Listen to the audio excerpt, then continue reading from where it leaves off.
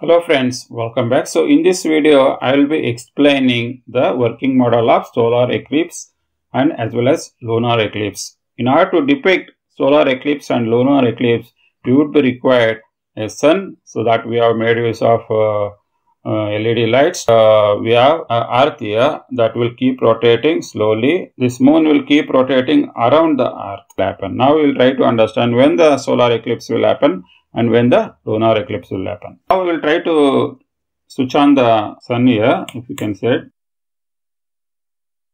Now when the moon keep moving, when it comes uh, in between sun and earth if you can see right. So that is when the solar eclipse will happen. Now what happens?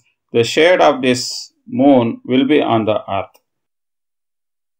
That is when the solar eclipse will happen when again further the moon will keep rotating when so when again moon further moves when earth is coming in between sun and moon when the earth shadow falls on the moon that is when the lunar eclipse will happen